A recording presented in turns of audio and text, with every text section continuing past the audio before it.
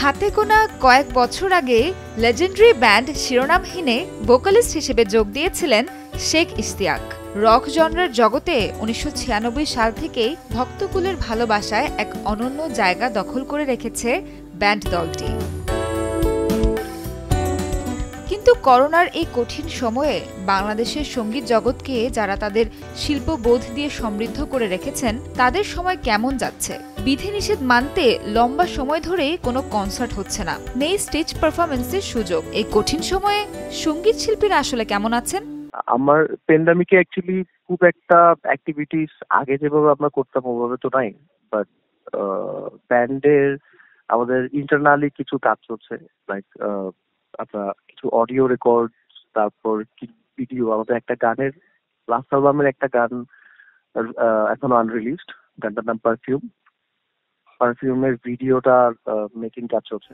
শিরোনামহীনের শেখ ইশতিয়াক করোনায় চাকরি হারিয়েছেন। এ কথা জানালেন গভীর অনিশ্চয়তা নিয়ে।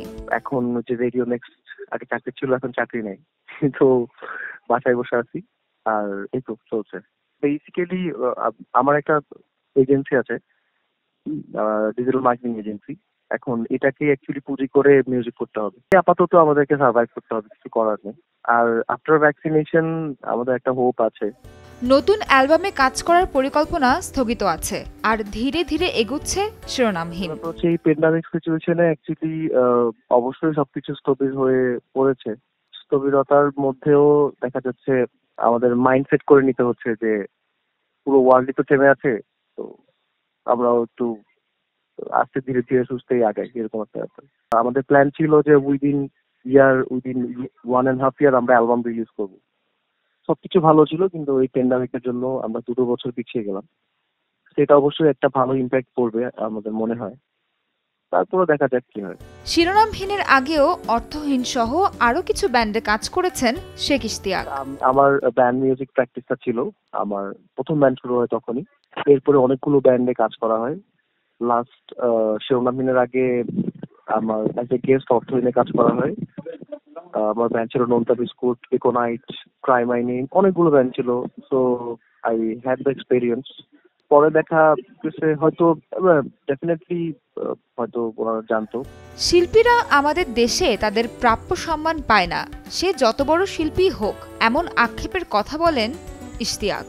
আমাদের তো লাখ লাখ ব্যান্ড আছে। সারা বাংলাদেশে তো অনেকগুলো ব্যান্ড আছে। অনেকগুলো মিউজিশিয়ানস আছে। ওরা কি করছে? এটা আমাদের দুর্ভাগ্যের ব্যাপার। অ্যাকচুয়ালি বলার নাই এখানে। আমাদের দেশে আজম খানকে বাঁচাতে মানুষের হাত পাততে হয়।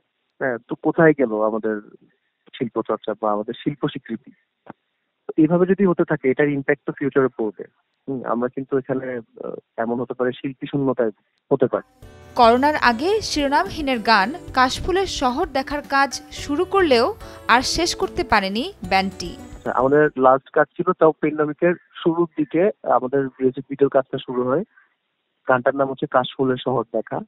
ওই মিউজিক ভিডিওটা আমরা করি পেন্ডামিকের আগে।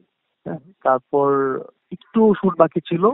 মাঝখানে যে একটু সুস্থ বলব না মানে মাঝখানে যে একটু নর্মাল হলো সবকিছু, বাকি অল্প শুটটা শেষ করে তারপর আমরা গান রিলিজ নাবিলা সোহার, সময় সংবাদ, ঢাকা।